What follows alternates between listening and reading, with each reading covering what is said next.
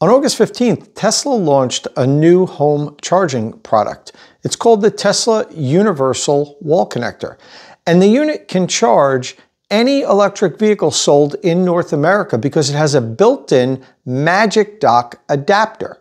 Now Tesla sent me one of the units so I could review it. And as soon as I received it, I made a quick first impression video and showed my followers exactly what this new unit looks like. However, my full review is going to take about two and a half weeks because I do a lot of testing before I publish the review. And judging from the comments in the first video, my followers wanted more and they wanted to at least see the unit working. So I decided to swap it out with my old Gen 3 Tesla wall connector. And you can see on the wall here is the new Tesla Universal wall connector. And I wanted to see exactly how it worked, how the adapter pulls out and latches in, and if you can remove the adapter from the Tesla connector once it's released from the unit. So in this video, we're gonna take a look at the installation really quickly, and then how this new Universal Wall Connectors Magic Dock adapter works.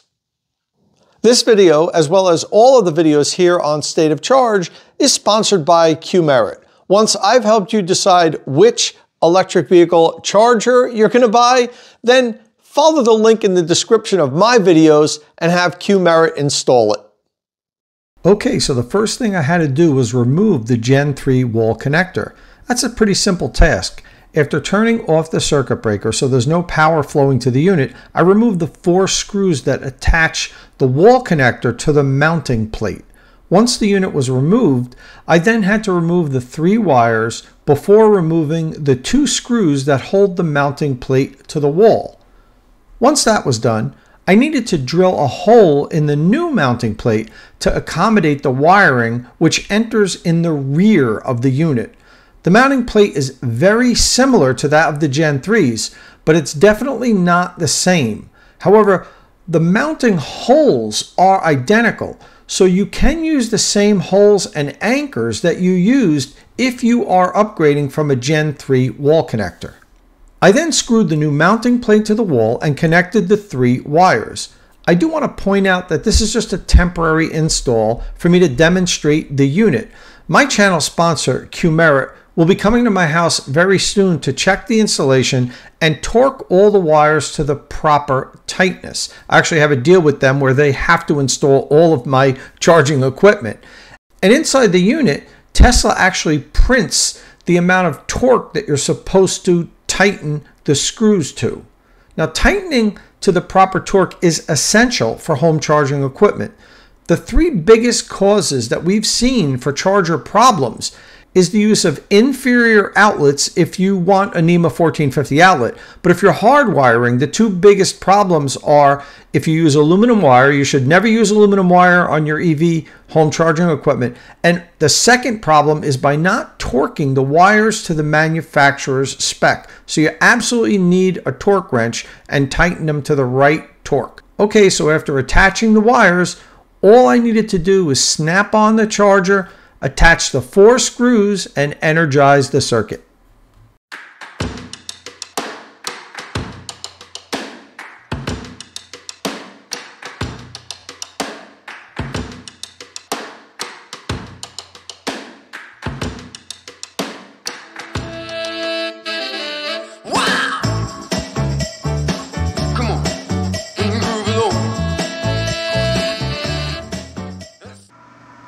So the swap is complete. It's powered up. It looks like everything is working. And for the first time, I'm gonna see if this Magic Dock Universal Wall Connector releases because I was a little concerned when the unit came and I couldn't remove it from the body of the unit, but I assumed that it needed to be powered up, that the locking mechanism was in the closed position so you couldn't take it out. So let's see, I should be able to push this tab in and release it. And as soon as I pushed the tab and I heard the locking mechanism release. So here you go. Here is the AC version of Tesla's Magic Dock. The tab here, now let's see if I can remove it. I can't. Nope. It's locked to the Tesla connector, to the NACS connector, which is how you would want it to be. You wouldn't want somebody to be able to steal this in public. Now, I'm sure people are going to figure out how to remove this. I even saw online some people figured out how to remove the Magic Dock adapter from the Tesla connector because that's also tethered to the Tesla connector when you remove it from the supercharger because they don't want people to be able to steal these things. Uh, so it is tethered to it. And as I said, I'm sure somebody's going to figure out how to remove it. Um, if I do, I probably won't uh, talk about that on the channel because I don't want to encourage people from stealing these things, but it's locked to the, uh, the NACS connector. You cannot remove it. So let's put it back in, locks in. See, if you just pull, the Tesla connector comes out. Now push it back in, push the button, it releases, and there you go. The universal wall connector adapter. Okay, so now I pulled my Chevy Bolt EV into the garage. Let's make sure it works.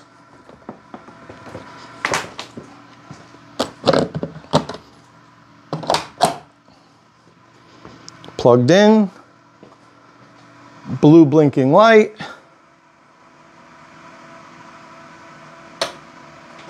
green blinking lights. And we got the bolt to beep. That actually took a little bit longer than what the uh, bolt usually takes to authenticate the charger and say, okay, this is a safe connection. Let me start charging. It seems like it took just a, maybe a second longer, but in any event, it's working and charging. So we've got the first uh, video of a Tesla universal charger with their AC version of the Magic Dock charging a non-Tesla electric vehicle. Pretty cool. All right, so uh, to remove it, you press the button and we should hear it shut, stop charging and, and release.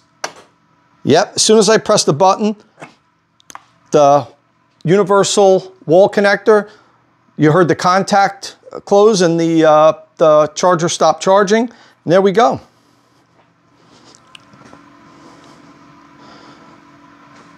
Tesla universal wall connector. And that's that's really slick that it locks to the connector like this so people can't steal. I kind of figured they would do that. Otherwise it would be a big problem.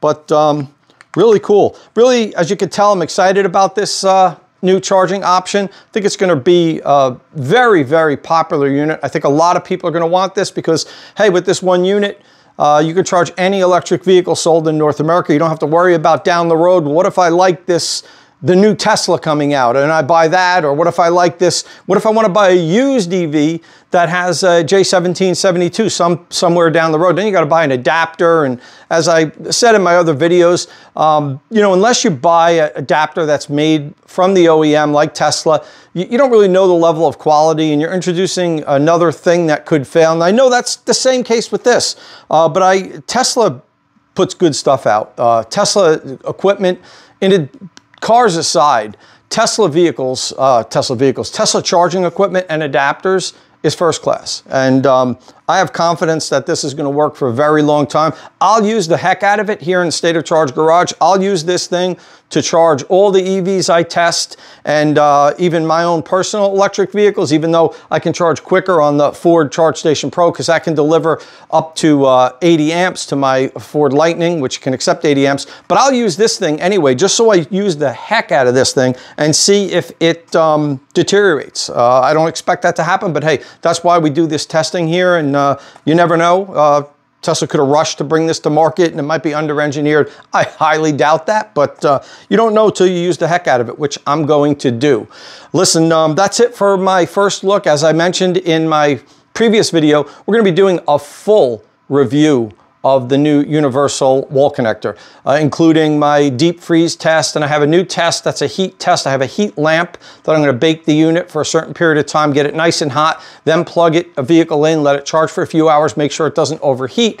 Um, and all the other tests that we do, the connector drop test and all things like that. So that'll be interesting doing the connector drop test with this.